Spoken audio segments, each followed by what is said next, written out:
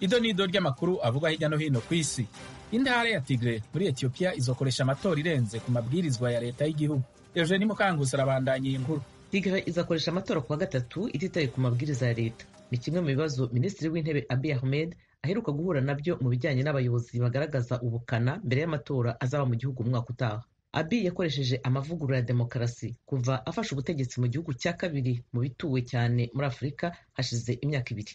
Cyakora guverinoma y'igihugu n'amashyaka manini byemeranijwe gusubika amatora mu gihugu no mu ntara ateganijwe mu kwezi kwa munani kuzageza igihe icyorezo cya covid cumi n'icyenda kizaba kimaze kugenza amaguru make. Intara ya tigre abayobozi bayo bari biganje mu buyobozi bwabanje kandi bakaba bararwanyije. Abi bivuye inyuma batangaje ko uko byagenda kose bazakoresha amatora. Kacoro reda wahoze ari minisitiri w'itangazamakuru muri guverinoma y'igihugu cyose yagize ati turabizi ko abi yavuze ko igisirikare kizarwanya tigre ndetse n'amafaranga azahagarikwa ariko nta kizahinduka tuzatora. Reda ni umuvugizi w'ishyaka riharanira kubohoza intara ya tigre tigres people liberation front. Ati turabizi ko hazaba ingaruka. Abiye nta bintu byinshi yatangaje ku mugambi we. Umuvugizi w'ibiro bye mu butumwa bwanditse kuri telefone yavuze ko itora rizatuma haba igisubizo gishingiye ku itegeko nshinga abwira ibiro ntaramakuru by'abongereza reuters kubaza inteko ishinga amategeko. Umuvugizi w'iyo nteko ato gibresilas ariko ntiyitabye telefone ngo agire ibisubizo atanga. Cyakora raporo y'umuryango international crisis group yaburiye mu kwezi gushize ko impande zombi ziri hafi kugongana kandi ko tigre iramutse ikoze amatora guverinoma ya abiy yiteguye gufata abo bayobozi bashya b'intara nk'abatemewe n'amategeko. Urakoze eugeni abarwanyi binjiye mu gisagara cyo mu buseruko bwa repubulika ya demokarasi ya kongo atankomanzi bakikuza ibohero. Ibindi turabihabwa na eugeni mukankusi. Abarwanya ubutegetsi bagera mu ijana bafite imbunda binjiye mu mujyi wa buniya mu burasirazuba bwa kongo baherekejwe na polisi uyu munsi kuwa gatanu mu gisa no kwigaragambya bitewe n'uburyo bafashwe mu gihe amahoro akomeje gushakishwa.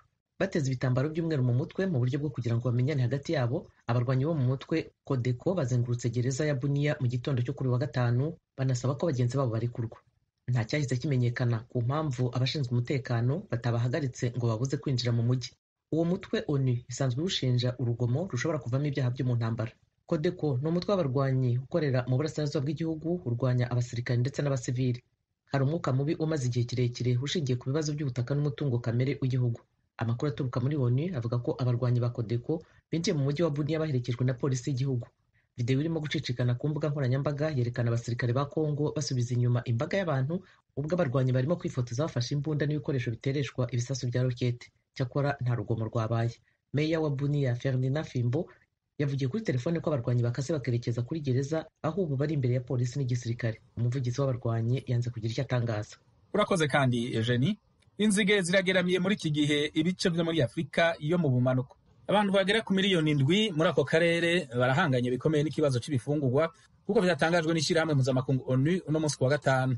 Nta sano kwiyadukiza kw'inzige mu bihugu bya botswana namibia zambia na zimbabwe gufitaniye n'inzige isinzi zasinzikaje akarere ko muri afurika yo mu buseruko mu kiringo c'amezi atari make. Ishami ry'ishyirahamwe onu rijejwe ibifungurwa n'uburimyi fao rimenyesha ko naho ibitigiri vy'inzige mu karere ko muri afurika mu mpanuko bitangana n'ivyasinzikaje akarere ko muri afurika mu seruko ibibazo ziriko zitera bikwiye gukurikiranirwa hafi mu gihe abarimyi bariko bagerageza kogorora inyuma y'ingaruka zikomeye z'uruzuba zibonekeje mu mwaka uheze hamwe n'ingaruka z'ubutunzi zatewe n'ikiza c'umugera wa korona ishyirahamwe fao rivuga ko inzige zishobora kurya ibifungurwa by'abantu ibihumbi bibiri n'amajana atanu ku munsi umwe naho ibihugu bine izo nzige ziyadukijemwo muri afurika mu mpanuko vyakoresheje imiti yo kwica udukoko. Ico gikorwa nticyashoboye kuzihagarika. Bimwe mu bice bigeramiwe kurusha ibindi ntivyoroshe gushikamwo.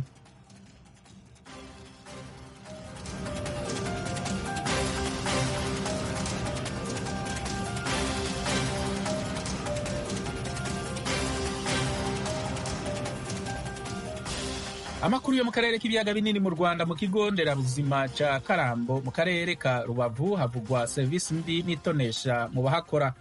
Claude ganza munyamagana afise inkuru y'idonido ntawe zinyura kubera ko umuntu aba yazindutse ashaka no kugenda akajya no mu rugo akaruhuka ariko kubera kuza umuntu akirirwa yicaye aha bijya bibangamira umuntu cyane. Kuhaza ni uko umuntu aba ahaturiye. Umuntu atahaturiye rwose yajya ku nyundo cyangwa akajya na nyakiriro. Uyu ni umwe mu barwayi twasanze ku kigo nderabuzima cya karambo mu murenge wa kanama mu karere ka rubavu uvuga ko serivisi ahahererwa zitamunyura akanasobanura impamvu. Ni ikibazo ahuriyeho n'abandi. None njyewe aho ndi kugera ndi kubona bari kundingana. Aho ngeze bakandingana. Wari wego ngo uje hariya wari weje ngo uje hariya iki? Uraguca numiwe n'ubusanzwe si ko ushobora kuza hano wahagera na saa moya ugataha na saa munani. Kandi wahageze saa moya ugahitamo kuza bukeye. Cyangwa ukabanza waje kugura n'utunini muri farumasi warangiza kutugura ukabona kuza. Kubera ko uba uzi ko unarahava utinze n'inzara yakwishe ukavuga uti sindaza kwirirwa hano ngo nirirwe inzara. Hano hari ubuvuzi buciriritse cyane. Kuko nshobora kuza hano wenda pansiyo ikazamuka agwa muri koma ntagire umuntu uri bunyakire. Mpitamo rero kujya aho barahita banshyira no mu bitaro. Natwe tuyoberwa ikibibatera. Niba batabahemba niba bikaba ari byo bituma badakora neza ko tubona natwe abaganga bahari se bamwe bavuga ko kuhivuriza ari amaburakindi ku buryo hari abafata umwanzuro wo kujya kwivuriza ku bindi bigo nderabuzima bahakurikiye serivisi nziza barenze kuri iki cya karambo ntabwo njya mbivuriza niko bigendaga. None se ngarira ngo umwana hano arembye cyane nangwa nganjye ndembye cyane notegereza iyo nama. Nugenda aho baramvura vuba icyo twasaba ni ukugira ngo babwire abo baganga bite no ku baturage babo ni cyo twasaba. Kwirirwa wenda abantu bari hano inama igatinda bakaganira bamwe ibyo ntabwo byabura. Hari n'agakirinike karama kari hariya i nyakabungo. Duhita tujyayo ubundi tukajya igisenyi ntajya kure amakuru dukesha bamwe mu bakoraga kuri iki kigo nderabuzima bakaza kwimurirwa ahandi avuga ko intandaro ya serivisi mbi abarwayi bahabwa iterwa n'ubwumvikane buke hagati y'ubuyobozi bw'ikigo nderabuzima na bamwe mu bakozi bikagira ingaruka no ku bakigana umwe muri bo twavuganye ku murongo wa telefone wadusabye guhindura ijwi rye kubera impamvu z'umutekano we. Yabwiye ijwi rya amerika ko umuyobozi w'iki kigo nderabuzima ahoza ku nkeke bamwe mu bakozi ndetse agatonesha abandi.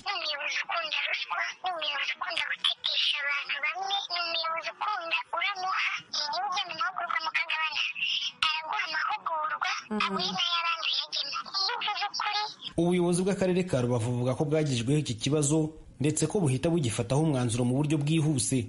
Gilbert habyarimana ni we uyobora aka karere. Nta muntu n'umwe dushobora kwihanganira igihe cyose yabangamira serivisi ku muturage. Umuturage ni we ugomba kuba ku isonga. Ni na yo mpamvu muri abo bose muri ibyo bibazo byose hari ikurikirana riri gukorwa rigomba kugera kuri buri umwe wese wagiye ugira uruhare mu mikorere mibi kugira ngo nawe abikurikiranweho abiryozwe ndetse tunace n'iyo mikorere mibi idakwiriye mu karere kacu ka rubavu. Ibyo rero ntibikabatangaze kubyemeza ibyo ari byo byose mwazumva bishingiye n'ubundi ku micungire rusange y'abakozi. Ushobora no kubivuga nanone ntibigire icyo bitanga. Tugahitamo guceceka. Mbega hano kuhazana ukuvuga uti ni uko mpaturiye ni hafi y'akazi. Ariko uvuga ngo si hafi y'akazi ntawaza kwivuza aha nta serivisi bagira. Claude ganza munyamagana mu burengerazuba bw'u rwanda ku bwa radiyo ijwi ry'amerika urakoze claude. Turabasuhuje bakunzi banywanye b'ijwi ry'amerika dukomeze dufatanye kubona amakuru agezweho kandi yizewe twasangiza abatwumva. Kubera iyo mpamvu turabasaba kutugezaho amakuru amafoto n'amashusho mubona aho mutuye aho mukorera aho mwiga n'aho mugenda. Mwatugezaho n'ibitekerezo hamwe n'ibyifuzo mufite byadufasha kubanogera. Mwakoresha urubuga rwa facebook voa radiyo yacu cyangwa nomero ya whatsapp ikurikira. Akamenyetso ko guteranya rimwe kabiri zeru kabiri kane kane rimwe icyenda icyenda gatatu rimwe. Ijwi rya amerika ni radiyo yanyu.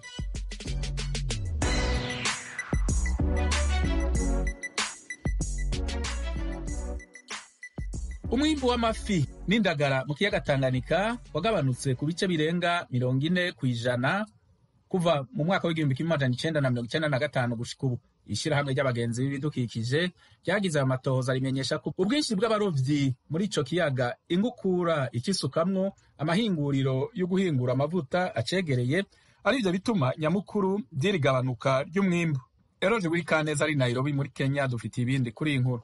Ahanini akamaro k'ikiyaga Tanganyika ni uguha amafi abanyagihugu n'abacuruza babidandaza bakongera bakabifungura ugutanga amazi yo kunywa no gukoresha na cane cane ku baba ku mugwa mukuru w'ubutunzi Bujumbura n'ibindi bisagara biri ku nkengera z'ico kiyaga. Haraheze imyaka umwimbu muri ico kiyaga ugenda ugabanuka. Nk'urugero mu gihumbi kimwe amajana icenda na mirongo irindwi na gatandatu umwimbu w'amafi n'indagara waharurwa ku matoni ibihumbi amajana atatu ku mwaka mu bihugu bine bisangiye Tanganyika. Muri iyo myaka ya mirongo irindwi amafi yarobwa abarundi n'abatuye mu Burundi ntibashobora kuyamara ku buryo amwe yasubizwa mu kiyaga kugira ibindi binyabuzima biyafungure canke haje imifunda myinshi indagara n'amafi bikarara abantu bakaja kunoba. Ishirahamwe ry'abagenzi b'ibidukikije ritanga bino biharuro rimenyesha ko ibintu vyagiye vyunyuka uko imyaka yakurikiye. Na mersa bushimike umukuru waryo. Ku ruhande rw'uburundi tugatanga akarorero nko mu mwaka w'igihumbi kimwe amajana icenda na mirongo icenda na gatanu. Ku mwaka himbugwa amatoni mirongo ibiri y'indagara. Mugabo mu mwaka w'ibihumbi bibiri na cumi na kabiri umwimbu wari wamanutse gushika ku matoni cumi n'abiri. Bikaba bibabaje cane. Ubu rero ku ruhande rw'uburundi naho nyene turababazwa n'uko ubwoko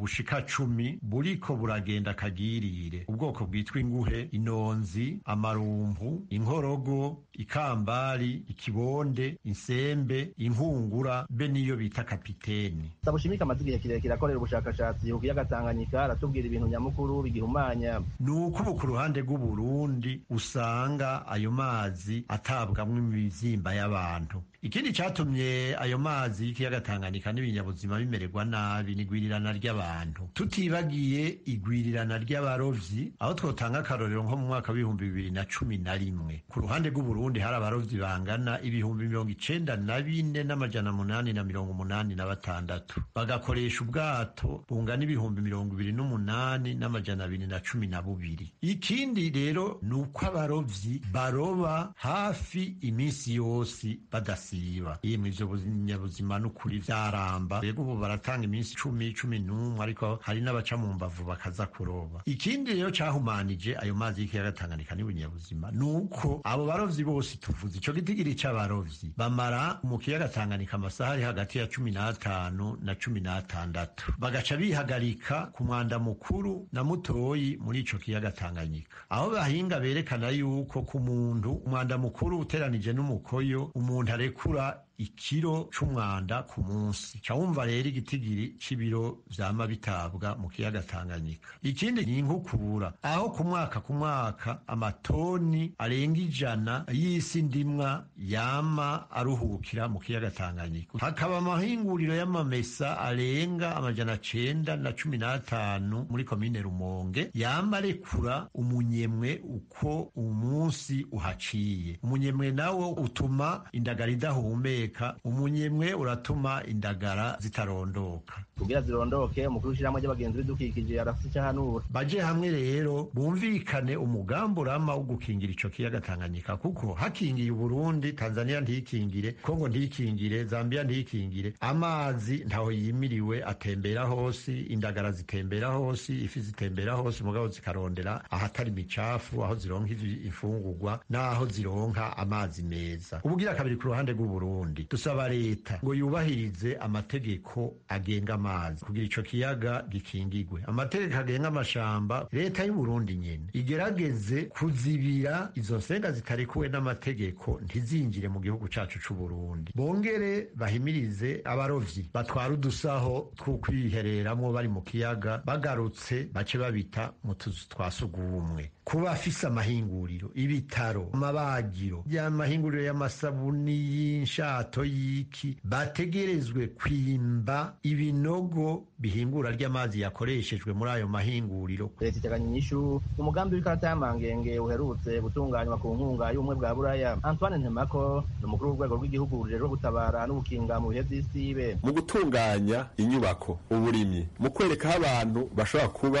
bazotunganya imigambi bakurikije ayo makati y'amangenge kuko murabona aha mu gatumba iyo myuzure ibahatera mbega ayo makati azotwereka yuko iza kuhaba canke kuri iyi misozi ihanamiye igisagara ca bujumbura. Ayo makati azotwereka yuko ahantu hakwiye kuba canke mutohaba iyi ni nyishu ku bintu vyinshi kugira ngo umuntu azotunganye imigambi. Ikiyaga tanganyika gisangiwe n'ibihugu bine uburundi bufite ibice umunani ku ijana tanzania mirongo ine na kimwe zambia bitandatu na repubulika ya demokarasi ya kongo ikagira ibice mirongo ine na bitanu ku ijana. Eroge buri kaneza ijwi rya amerika.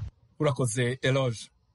Leta y'igihugu ca tanzania itanguye umugambi wo gusenyura amazu y'impunzi ziriko zitahuka muri iki gihe. Iyo ngingo binezereye abasigaye mu ikambi ya nyarugusu baba mu mazu adashemeye ahubwo basaba kuronswa izo nzu aho kuzisenyura. Mugenzi wacu james jovin akorera mu gihugu ca tanzania ku munsi wa kane yagendeye ikambi ya nyarugusu hanyuma aganira na zimwe mu mpunzi zahungiye muri iyo kambi twebwe ubu nyine kweri turagiye kubona ibikorwa bitangaje kandi biteye ubwoba. Mu gihe duhegiye kubona amazu yavuyemo abantu bahungutse eh, yariko yarabomagurwa yasiturwa n'abajejwe umutekano eh, abo bita abasungusungu n'abajejwe inkambi mukuru wa- makazi nabo muri eneyasi bajejwe kubaka ivy'amazu. Ni ukuri ico gikorwa twari kiraduhagaritse umutima tubonye ari igikorwa duteye ubwoba. Eh, mu gihe mu minsi iheze bariko baravuga yuko abantu batagira aho baba basanzwe baba mu mazu y'amahema boshikirizwa izo nzu eh, bakazibamwo kuko kweri baragowe ariko biduteye ubwoba cyane kubona hatanguye ico gikorwa co gusenyura amazu y'abantu bahungutse. Ego ubwa mbere novuga yuko igihe icyo kigo cyatangura cyatangura twabona byabaye ibintu biteye ubwoba cyane ndetse binababaje kubona ikintu cy'inzu inzu ibomogwa ariko kandi inzu abandi bari bari bayikeneye rero n'igikorwa cyabaye giteye ubwoba inzu bazibomora bakaryamika hasi inzuga amadirisha ah, n'amabati asakaye hejuru ndetse n'amatwarete utuzu twa sugumwe akabomora amabati n'imbaho byose agapakira mu modoka hanyuma rero n'icyatubabaje cyane ni uko hari umusore yaheruka kwimukira mu nzu ni ukuvuga baramenyeshe aba- ba abanyumva kumi yuko agiye muri iyo nzu. Na cyane cyane ko uwo musore yari afite umugambi wo gushinga urwiwe kuko aho yaba yaba mu muryango umuryango wagutse bashyikiwe abavyeyi biwe batoya biwe ugasanga rero nta yindi nzu afise. Rero iyi nzu kubera yagaragara ijyamwo rero baraje basanga ntari ngaho muhira ari ku mubanyi inzu babomora urugi barinjira bavyiwe basohora basanzaza inzu bararyamika basanzaza nk'abasanze umwanda. Ubwo ni ikintu cyababaje abantu benshi tubona yuko umenga hari ubuntu ata buntu bwakoze ata mutima w'uruntu wigeze ukora. Izo nkuru izo z'ibyo ni ukuvuga yuko nabo bose abo turumva yuko turumva yuko bashobora kubasambura na bene bakasambura izi nzu zi- ziri pembeni. Nabyo numva turavyumva yuko bishobora kuba bishobora kubaho. Je nkasa umva jewe navyumva mu bantu mu bantu nyene ndumva mu bantu du- mu bantu duhereranye kuko bazi turagwa mu kenya turukurukuru niyo nkuru. Nashobora ugasanga ivyo birashitse hamba rero bishitse urumva yuko rizoba ari ibara kubona abana bakuze baryamana n'abantu b'abavyeyi. Ico gituma mbere bidutangaje kubona iyo ngingo bongeye kuyifuta bagafata ingingo yo kubomora amazu. Mu gihe hariho abantu bagowe mu- gihe twimirije igihe c'imvura turabona ko ari ibintu kweri biri inyuma y'ivyo bintu binyegeje twe tudashobora kumenya. Mbere bikagaragara yuko ari ari yirukanwa eh, ry'impunzi. Ariko bo ntibagomba kubyerekana muga twebwe turiko turabiraba tubona ko ari ukutwirukana mu bwenge. Mbere si no mu bwenge n'ibintu vyamaze kugaragara. Mu gihe bavuga ko twohunguka ku bushake. Ni ukuvuga inzu zatanzwe zubakiwe abantu b'impunzi ni inzu igizwe n'icyumba na saro nubwo ni nk'utwumba tubiri. Icyumba cyo kuryama n'icyumba cyo kubikamo utuntu ndetse no kuriramo ibintu nk'ivyo. Ni inzu usanga igoye ari ntoya cyane aho umuryango w'abantu batanu usanga ari ntoya cyane rero bo abantu bari bagiye bariyungunganya bakwaka utuzu ku amatafari bakubaka utuzu ku ruhande.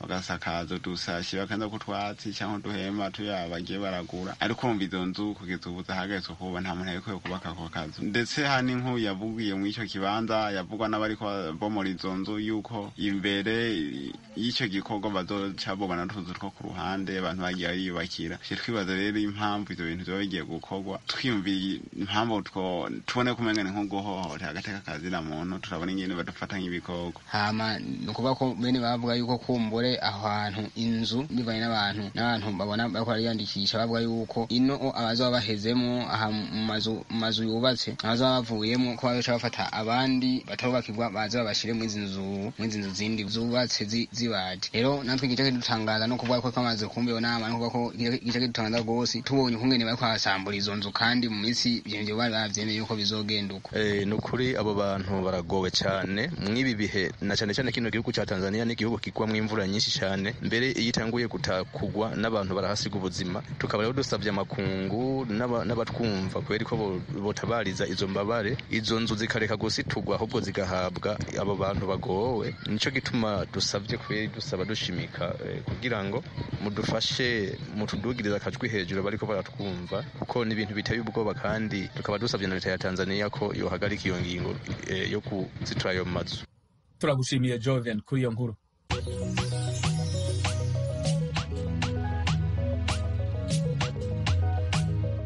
Nshuti z'ijwi ry'amerika uretse kuri fm musanzwe mutwumviraho mushobora kudukurikira no ku mirongo migufi bita short waves kuri metero makumyabiri n'eshanu ni ukuvuga kuri kilohertz ibihumbi cumi na kimwe magana umunani mirongo itatu n'eshanu.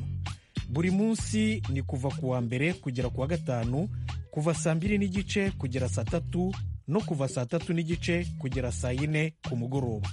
Ku wa gatandatu ni kuva saa kumi n'ebyiri kugera saa kumi n'ebyiri n'igice ku mugoroba.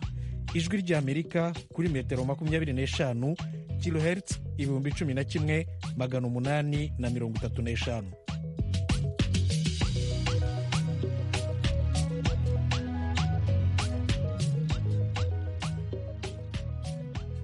Inyuma y'aho impunzi za mbere zo mu ikambi ya mahama mu rwanda zitahukiye mu burundi zimwe mu mpunzi zisigaye muri iyo kambi zifuza gutahuka ziridogera igikorwa cyo kuzitahukana zivuga ko kitariko kirihutishwa. Ni mu kiganiro mugenzi wacu frederic nkundikije yagiranye n'imwe muri izo mpunzi abantu bashaka gutahuka ni benshi cyane ni benshi cyane ku buryo uyu munsi dushobora kumenya igitigiri nyezina cy'abantu bashaka gutahuka ariko benshi turabona baza kwitezana kuri hcr kugira ngo bandike ariko hari intambara zimwe zimwe z'uko kwandika ariko bigenda buke buke. Iyi ngorane ni izihe? Ni kuki igikorwa cyo kwandika abifuza gutahuka kiriko kigenda boroboro?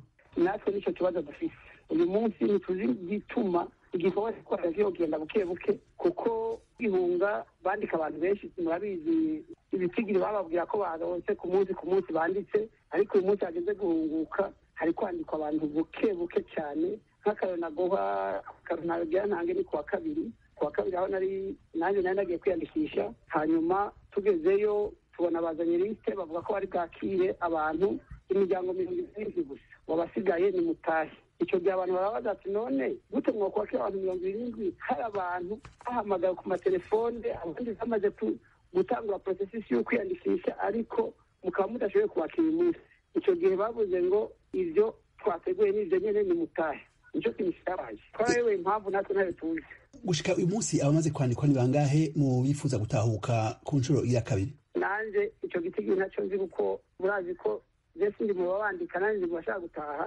Igitigiri na cyo nzi ndibaza ko mubaje nko muri asere mu bamenya. Ariko ku wa kabiri baratubwiye ngo abamaze kwandikwa bari baranditswe muri ba bandi batahuka ubwa mbere bavuga yuko hasigaye abantu barenga igihumbi. Ariko igitigiri cy'ubu bageze ko pe nanjye ntacyo namenya muravuze abantu batashoboye gutahuka mu burundi bari bashitse ku rubibe. Icyo bacatumye badatahuka niki icyari cyatumye badatahuka uko nanjye nabyumvise bavuga ko leta y'uburundi yari yavuze ko site yateguye kubakira ishobora kwakira abantu majana atanu bonyine ariyo mpamvu wumva abari bayiyandikishije batashoboye kugenda bose. Akizera ko icyo gikorwa cyo kubandika no kubamenyesha igihe muzotahukira uh, kizokwihuta kangana iki uyu munsi vema icyizere icyizere hariho bamwe bamwe bari kuhatakaza icyizere kuko turaze uburyo ku wa mbere no ku wa kabiri bari ko barandikamwo bamwe bari kuhatakaza icyizere ariko ejo ku wa gatatu tuvugana ejo niba hari indi nanjye nashoboye kwandikwa. Ejo ku wa gatatu baranditse abantu benshi nubwo tutamenya igitigiri ejo byararuse ku wa mbere no ku wa kabiri. Mwizeye gutahuka nka ryari? Itariki turamenya bamwe ku wa kabiri abandi ku wa kane nta kintu na kimwe turabwirwa pe. Natwe turicaye ngaho turarindiriye. Tegereje. Muri iyo kami y'amahama hariho abarundi batari bake benshi cyane rwose barashika ibihumbi mirongo itandatu. Abarundi nibaza ko bashaka gutahuka muri icyo gitigiri cyose boba bangana iki? Uriko uraraba umuvuduko bariko bariyandikisha ko abantu batonda ko kuri asere jewe ndabona abantu sinovuga igitigiri nyezina ko icyo mbona cyo ni uko abantu benshi benshi ndabisubiramwo benshi cyane bifuza gutahuka pe. Mwaba mufise amakuru y'abarundi bahora muri iyo kampi batahutse mu burundi bamerewe gute? Abatashe baratubwiye ko bakiriwe neza baratubwiye ko bameze neza pe. Twarabonye n'amavidewo bakirwa kuri frontiere twabonye bameze neza cyane n'abo tuvugana uyu munsi baravuga ko bameze neza cyane.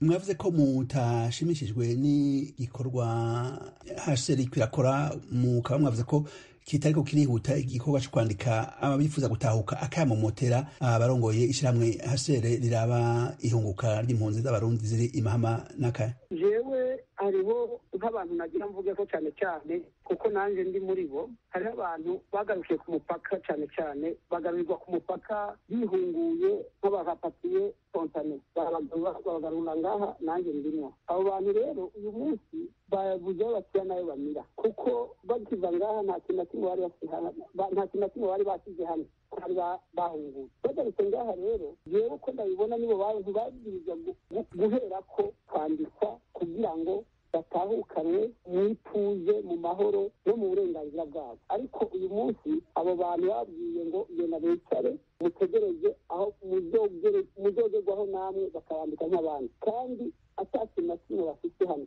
Nanjye ndimo iyo turiko turavugana rero nkaba nsabira abo bantu cyane cyane ko babaherako kuko ni ka dirijanse ni ka dirijanse bakabaherako hama kandi ikindi nasaba ni uko hoba kongereza inguvu byaba ngombwa bakongereza n'abakozi kugira ngo abantu bandike ku bwinshi nk'uko babyifuza hanyuma nkasaba ko bibaye ngombwa boza batahukana abantu bibaye ngombwa na kabiri mu yindi murakoze cyane rwose ku kanya mwahaye radiyo hejuru ry'amerika turizeye ko dushobora kuvugana n'abajejwe ishyirahamwe hasera kugira turabe ko akamo mwateye gashobora kumvirwa. Mwakoze. Murakoze cyane namwe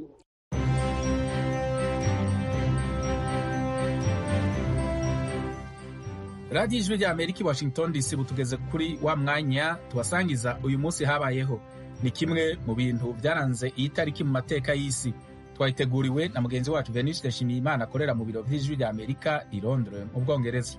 Ku itariki ya kane nzeri umwaka wa bibiri na kabiri minisitiri w'ububanyi n'amahanga wa leta zunze ubumwe za amerika colin powell yazomerewe n'impirimbanyi. Igihe cy'isozwa ry'inama mpuzamahanga ku iterambere rirambye yaberaga muri afurika y'epfo. Iyo nama yari yatangiye ku itariki ya makumyabiri n'esheshatu kanama yari yatumijwe n'umuryango w'abibumbye ihuza abantu b'ingeri zose kugira ngo bungurane inama ku iterambere rirambye igihe colin powell yari afashe ijambo mu nama rusange isoza imirimo. Hari abamuzomereye bakoma mu mashyi kugira ngo ibyo avuga bitumvikana. Yaratangiye gusobanura uko leta zunze ubumwe za amerika zibona ikibazo cy'iterambere rirambye kandi bamwe basanga gahunda ya amerika ibangamira ibidukikije cyane cyane ko perezida bush yari yanje gushyira umukono ku masezerano ya kyoto ateganya ikigero buri gihugu kigomba kugeraho kigabanya imyuka ihumanya ikirere. Mati gianni wari intumwa y'ishyirahamwe rirengera ibidukikije green peace muri iyo nama yavuze ko nta mugambi wari uhari wo kwigaragambya. Nubwo bwose habaye ukutumvikana. Inama y'Johannesburg ifatwa nk'iyatumye ibihugu by'amahanga bibona ko bigomba gufata ingamba zihamye kugira ngo bibungabunge ibidukikije.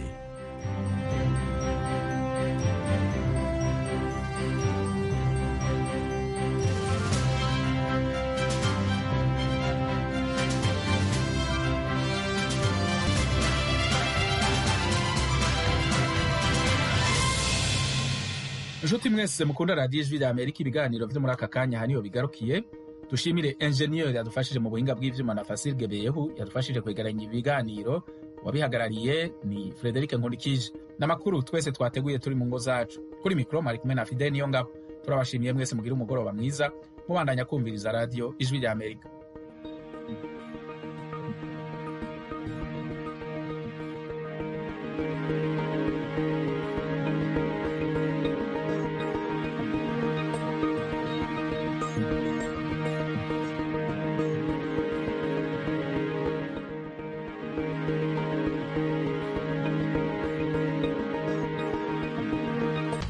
Abo umuryango wa bwana paul rusesabagina bahangayikishijwe n'uko kuva agejejwe mu rwanda batarashobora kuvugana nawe cyangwa ngo bamenye n'amakuru ye. Mu kiganiro n'umunyamakuru w'ijwi ry'amerika salem salomon wo mu ishami ry'icyongereza umukobwa wa rusesabagina karine kanimba yavuze ko bamuheruka ari dubayi muri emira zunze ubumwe z'abarabu.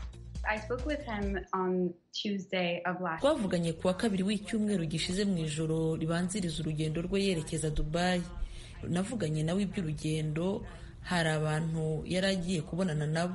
Yagombaga kugira inama zitandukanye hanyuma akagaruka ku wa kabiri itariki ya mbere z'uku kwezi kwa cyenda. Duheruka kuvugana bwa nyuma ageze dubayi ku wa kane nimugoroba. Hari ku isabukuru y'ivuka rya mwisengeneza wanjye akaba n'umwuzukuru we. Tugira urubuga rw'umuryango duhuriraho rwa watsapu nuko rero yohereje ubutumwa kuri urwo rubuga ubutumwa bunogeye amatwi bwifuriza umwuzukuru w'isabukuru nziza. Nyuma y'ubwo twagerageje kumwoherereza ubutumwa tumubaza niba yagezeyo amahoro niba ameze neza ariko ubwo butumwa ntabwo bwagezeyo. Twa turongo tubiri tugaragaza ko ubutumwa bwageze ko bugenewe ntabwo twagaragaye nk'uko bisanzwe bigenda iyo twandikiranye. Nyuma y'ubwo icyakurikiyeho ni uko ku wa mbere mu gitondo twabyutse tukumva abantu benshi b'inshuti no mu muryango baraduhamagara tubibona ku mbuga nkoranyambaga ni uko nshyizeho televiziyo dusanga ari mu maboko ya leta y'u rwanda kandi ari mu mapingu. Turned on the TV, we saw that um, he was in, in the hands of the Rwandan government and handcuffed. You said the trip, about the trip. What was he doing there? wavuze ivyerekeye urugendo uh, yari agiye gukora yiki? My dad had been in Texas for the past papa yari amaze amezi muri texas. Amabwiriza yo kuguma mu rugo mu rwego rwo kwirinda covid cumi n'icyenda yasanze ari muri texas aba ari naho aguma yari agiye guhura n'abantu nk'uko bisanzwe. Hari inama yagombaga kugirana n'abo bantu i dubayi continued with meetings that he was supposed to have in Dubai. What do you know about what happened mbe yari indege yo mu bwahe bwoko uh, ni ibiki biriko biraba muri make? Vyagenze gute? Yashitse gute mu rwanda?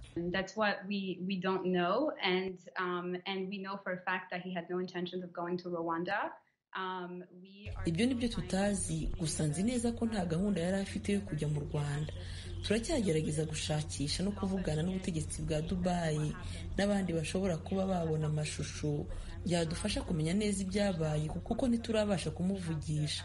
Twagerageje gusaba u rwanda twagerageje gusaba urwego rw'igihugu rushinzwe iperereza ariko ntabwo bigeze batwemerera kuba yagira urugendo ajyamo aho ariho hose. Harimo na dubayi kuri twe ntabwo ari igitangaza kuko ni byo asanzwe akora. Ariko kujya mu rwanda ntabwo byari muri gahunda niyo mpamvu twemera ko yatwawe mu rwanda ku gahato If he's listening to you, what would you say? aramutse ariko aragutega amatwi wo mubwira iki I would say, Papa, turagukunda cyane cyane. We love you. namubwira ngo papa turagukunda cyane ugomba gukomera nk'uko usanzwe n'ubundi ukomeye. Natwe tuzakomera ku bwawe kandi tuzakomeza kubwira isi tuza n'ubufasha bwose dushoboye bwo gukura aho ngaho. Ariko turashaka ko ukomera turagukunda cyane papa cyane. Uwunganira paul rusesabagina mu mategeko umubirigi vincent rurke aravuga ko ububirigi bwamenyeshejwe ifatwa rye ku cyumweru mbere y'uko yerekanwa n'urwego rw'igihugu rushinzwe iperereza rib. Arasaba leta y'u rwanda ko yatanga ibisobanuro akavuga ko u rwanda rwasabwe na leta y'ububirigi kandi nawe akemererwa kumubona. Ni ikiganiro yagiranye na mugenzi wacu venuste nshimiyimana. Pas, bavuze ko yafashwe ariko ikitumvikana ni uko leta y'ububirigi yabimenyeshejwe ku cyumweru nkaba nibwira ko mu rwego rw'ubufatanye bari bakwiye gusobanurira ububirigi impamvu n'uburyo yafashwemo abamufashe. Icyo nakubwira ni uko ububirigi nta ruhare bwagize muri ubwo bufatanye n'ibihugu by'amahanga u rwanda ruvuga. Ntabwo tuzi aho bishingiye. Mwaba muteganya se gusaba ko uwo mwunganira aburanishirizwa mu bubirigi uwo mwunganira ntabwo agomba kuburanishwa keretse bigaragaye ko hari icyo yakoze kinyuranije n'amategeko bazabanze babitwereke. Hari igihe leta y'u rwanda ibisaba abantu batavuga rumwe nayo bari mu birigi bakabazwa kuba kuba rusesabagina atavuga rumwe na leta y'u rwanda ni ibintu bishoboka. Ariko ntawe nzi uvuga ko yakoze ibyaha bigomba kumugeza mu bucamanza. Muri aka kanya ikibazo si ukuburanishwa ububirigi buramuzi nta kirego cyatanzwe mu bubirigi kigaragaza ko hari icyo yakoze kinyuranije n'amategeko ntagomba rero kuburanishwa ahubwo akwiye kurekurwa akarekurwa akoherezwa hano mu bubirigi bityo ibintu bigashobora gukurikiranwa mu buryo bukwiye. Amakuru dufite aravuga ko paul rusesabagina yigeze kubazwa n'urwego rw'ubushinjacyaha bw'ububirigi ndetse n'aho atuye hagasakwa.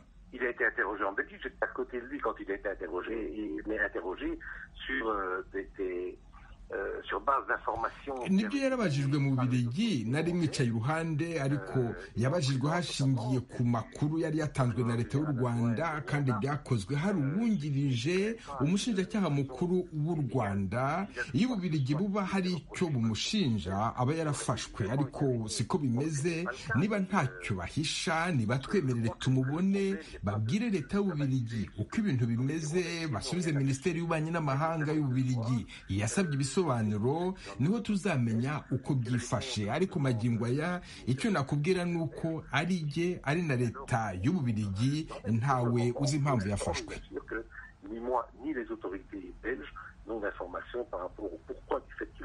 Jenoside yo mu rwanda bahungiye muri hotel de mille corine yari abereye umuyobozi ubu ari mu maboko y'abashinzwe iperereza ry'u rwanda yofatwa k'imuntu. Icyo cyifuzo cyagerejwe kuwuserukira u rwanda muri leta zunze ubumwe za amerika na tibor nagi icegera c'umunyamabanga ashinzwe ibiro bya afurika mu bushikiranganji bw'imigenderanire n'amahanga bwa amerika. Aho ni mu gihe nubwo abavandimwe ba rusesabagina bavuga yuko yanyurujwe ari dubayi ubutegetsi bw'uwo muri bwo bwabwiye televiziyo ya cnn yuko rusesabagina rusesabagina yahavuye ku munsi wa gatanu n'indege ikoteshwa. N'inkuru ya jacques nitegeka. Tibor nagi ushinzwe afurika muri minisiteri y'ububanyi n'amahanga ya leta zunze ubumwe za amerika yatangaje ko ejo kuwa gatatu yabonanye na matilde mukantabana uhagarariye u rwanda muri leta zunze ubumwe za amerika. Abinyujije ku rubuga rwa twitter bwananagi yavuze ko leta zunze ubumwe za amerika ziteze ko leta y'u rwanda izafata bwana rusesabagina kimuntu hakurikijwe amategeko kandi igatanga ubucamanza butabera mu mucyo. Hagati aho itangazamakuru rikomeje kugerageza kumenya uburyo bwana rusesabagina yafashwemo akanagezwa mu rwanda. Uruhande rw'umuryango we n'impuzamashyaka mrcd abereye umukuru wungirije bavuga ko yashimuswe ko bamuherukaga bwa nyuma ageze i dubayi muri emira zunze ubumwe z'abarabu leta y'u rwanda yo ivuga ko yafashwe binyuze ku bufatanye mpuzamahanga kubera impapuro mpuzamahanga yari yaratanze zisaba kumufata. Televiziyo cnn yo muri leta zunze ubumwe za amerika yatangaje ko amakuru yahawe n'umutegetsi itavuze wo muri emira zunze ubumwe z'abarabu ari uko bwana rusesabagina kuwa kane yageze akanava muri icyo gihugu mu buryo bwemewe n'amategeko. Cnn ivuga ko yabwiwe n'uwo mutegetsi wo muri emira zunze ubumwe z'abarabu ko rusesabagina yavuye muri icyo gihugu mu masaha ya nyuma ya saa sita z'ijoro ryo kuwa kane mu ndege bwite igiye mu gihugu cyo muri afurika y'iburasirazuba uwo mutegetsi yabwiye cnn ko nta masezerano u rwanda rusanzwe rufitanye na emira zunze ubumwe z'abarabu yo guhana abakekwaho ibyaha. Turakomeza n'amakuru yerekeye u rwanda urwego rusubiramo imanza muri sentare idasanzwe iburanisha imanza zidabukiranya imbibe n'imanza z'iterabwoba ifise icyicaro i nyanza mu majepfo y'u rwanda. Yakomeje kuburanisha uwitwa inyase nkaka batazira la forge fisi bazeye na colonel jean pierre nsekanabo batazira abega bari mu bayobozi b'umutwe wa fdr abagabo bombi baregwa ibyaha birimo iterabwoba byakozwe n'abagwanyi b'uyu mutwe. Uyu munsi ubushikirizamanza ni bwo bwahariwe ijambo bukaba bwibanze cyane cyane ku cyaha cy'iterabwoba mu iburanisha ry'uyu munsi byarangiye abegwa ndetse n'ababunganira batarashikirwa ngo bagire icyo bavuze kuri ibyo baregwa. Reka iyi nkuru tuyibaze jean claude mwambutsa yari muri sentare.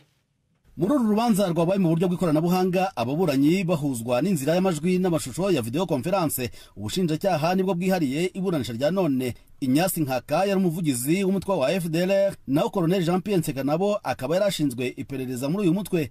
Uyu munsi ubushinjacyaha bwariza abagabo bombi ibyaha bifitanye isano n'iterabwoba. Icyaha cyo kuba mu mutwe w'iterabwoba n'icyo gukora iterabwoba rigamije inyungu za politiki. Umushinjacyaha faustin mukunzi yavuze ko guhera mu mwaka wa bibiri n'icyenda abarwanyi ba fdr bagabye ibitero bitandukanye. Bifashishije ibisasu bya grenade byaturikirijwe mu mujyi wa kigali n'utundi duce tw'igihugu. Bimwe mu bitero ngo byagabwe mu mwaka wa bibiri na cumi na gatatu ubwo mu gihugu habaga amatora y'abadepite. Ngo bikaba byari bigamije kuyaburizamo. Aha ni ho ubushinjacyaha bwemeza ko ryari iterabwoba rikozwe mu nyungu za politiki. Umucamanza yasabye ko bagaragaza uruhare rutaziguye rw'abaregwa muri ibi byaha. Ubushinjacyaha buvuga ko abaregwa bagomba kuryozwa ibyaha byakozwe n'abarwanyi ba fdlr nk'abari abayobozi babo. Bwemeje ko bufite abatangabuhamya babwemereye ko nta gikorwa na kimwe cyabagaho kitazwi na komite nyobozi ya fdlr kandi nkaka na nseka nabo bakaba bari bamwe mu bagize iyi komite. Ubushinjacyaha buhuza abagabo bombi n'ibyaha byashinjwe. Liyetona joel mutabazi wahoze mu barinda umukuru w'igihugu. Uyu musirikare wakatiwe gufungwa burundu yaregwaga kuba ku isonga ya bimwe mu bitero bya grenade byagabwe mu mujyi wa kigali ngo byagaragayemo na bamwe mu bari abarwanyi ba fdlr ubushinjacyaha bwavuze kandi ko inyasi nkaka na koroneli nseka nabo bagomba kuryozwa ibyaha byibasiye inyokomuntu n'ibyaha by'intambara. Aha havuzwe ibitero byagabwe ku modoka y'uruganda rwenga inzoga rwa burarirwa bigahitana abakozi barwo mirongo itatu n'icyenda ibyagabwe mu nkambi y'impunzi ya nkamira ndetse n'iya kayove.